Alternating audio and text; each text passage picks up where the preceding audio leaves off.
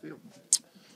Yeah, just taking it one day at a time right now. Just trying to figure out uh, what's going on while also uh, get myself ready to play. Obviously, um, you, you try to prepare as a starter every week, but you know, a week like this week, it's it's a little, a little more intense, and just trying to make sure on top of everything. With the contract being up at the end of the year, I know you're probably not thinking about that, but it's an opportunity to go back out and put some good work on film. Yeah, I just want to go out and, and if I have the opportunity, play well and uh, and try to get a win. You feel like your ankle is, I don't know if 100% is fair, but I mean, you feel pretty healthy at this point given the time off? Yeah, I finally feel over the hump. You know, it took a while, uh, way longer than I thought I was going to, but um, but at this point, yeah, I feel like I got over the hump and, and feeling good. It's been like these, these past several weeks, Ryan. I'm sure it's tough for you, a, a veteran, kind of having to play a number two role. How, how, how have you dealt with that and, and kind of relationship with you also? Yeah, it's been a tough couple of weeks. Obviously, uh, a lot of changes and, and settling into a, a, new role.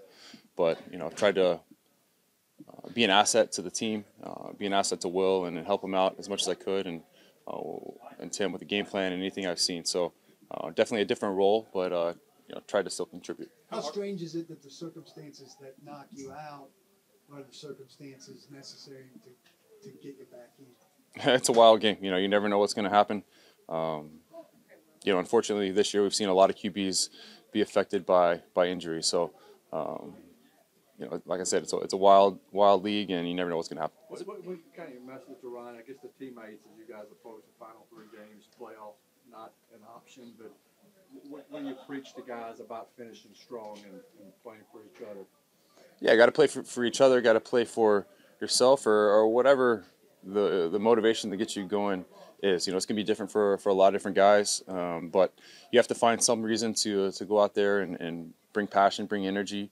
Uh, obviously, our, our number one goal is uh, is not on the table at this point, but um, you know, want to go out there, find a reason to to bring passion and energy to the game, and and go play to win. Right. What's that reason for you? Uh, right now, I'm playing for the teammates and uh, and for my family and for myself. You know, so. Um, that's that's what I lean on. Is there some personal sentimentality here with the three games left on, on the contract and, and obviously the team's future and your future probably being different? Yeah, I just want to go out and, like I said earlier, just play good football. Uh, you know, I don't know, you know what that's going to look like here, uh, you know, this week even, uh, if I do get the opportunity. But you know, want to go out and, and, play good football and find a way to win a game. Has it been difficult more being that asset that you talk about? Has there been temptation to not act that way? Just how difficult has it been handling that attitude?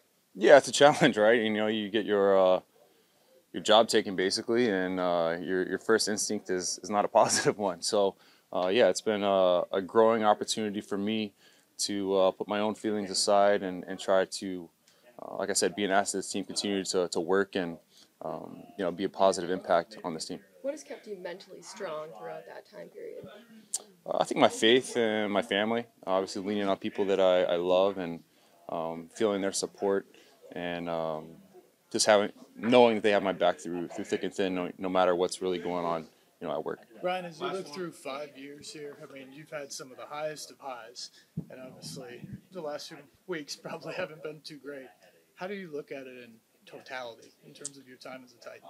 Yeah, it's tough to wrap it up at this point. You know, I think uh, when it's all said and done, I'll, I'll reflect a little more and, and, try to wrap things up mentally a little bit. But you know, at this point, you know, totally focused on on doing what I can to get ready to go this week if necessary. I mean, it was great to get past that milestone that I've been stuck at for a couple years. But like I said, it's just just playing the game I love, is just football. Do you think you're playing as well as you've ever played? Mm, mm, I wouldn't say that, but you know, I, I, I got lucky. I'm, I'm, what about the sacks that I missed early on in the season?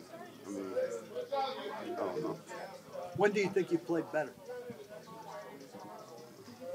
Probably younger, no, younger than Nico. Are you are you surprised at older Denico? No, no. Just doing what I go to practice and work on every day. I mean, I'm not surprised at all. Younger Denico didn't get an offer from the coach, and you ended up here you're in a similar situation, do you ever think about like the contract? Just, no, I don't think about that stuff. I let it work itself out. That's what I got an agent for. I just come and do my job. How badly do you want to stay with this team? Um, like I said, everything. I said it's a good fit for me. I mean, I like it here. So, I mean, it's just it's what it is, man. sorry I missed the first wave, but we, we tell some of the younger guys about playing for pride, playing for each other, even though you're eliminated for contention. What, what, what, what do you tell the young guys going into games like the next three? Um, you know, you don't want to put bad film out there, so you know, do what you do. Do you do your job, and then the rest of the show for itself.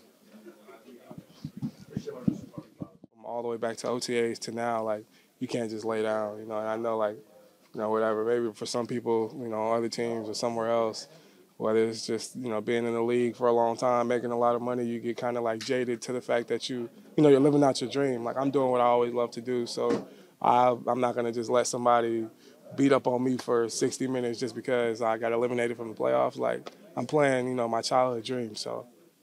Do you see most of the players in this locker room have that same attitude too? Yeah, you know, I think just like it's just a mentality. Like I couldn't see somebody being comfortable with like just letting somebody beat their ass, you know, just because you know you're not gonna make it to the playoffs. So, you know, all of us are playing for each other.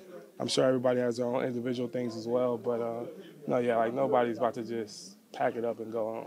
So. Azeez playing at home, two of these final three maybe help as well. Yeah, for sure. I mean, you always love to be at home, have your home crowd, you know, everything like that. So, uh, last couple games that we'll be we'll be here at home, so I like it. Azeez, given your story and how you grew up and how you came into this league, is it maybe a little bit easier for you to have the motivation right now? Uh, yeah, it probably is. Um, but I would just, you know, challenge everybody. Like when they were kids, I'm sure they all had the motivation and the drive to want to be where they are right now. And if you told a 10 year old Azeez, hey man, you're gonna be playing in the NFL in week 15 or whatever, nobody, I wouldn't ask what the record was. I wouldn't ask you nothing. I just smile and say, hell yeah, let's go. So I mean, I, I expect everybody to do the same. This is a pretty young roster, and obviously everyone has different contract situations.